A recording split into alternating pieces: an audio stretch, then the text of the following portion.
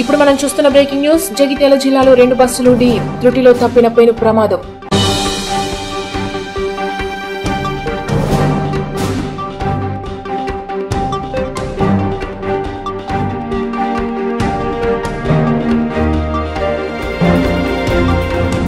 తాటిపల్లి గ్రామంలో జగిత్యాలకి చెందిన ఆగి ఉన్న స్కూల్ బస్సును వెనుక నుండి ఢీకొట్టిన ఆర్టీసీ బస్సు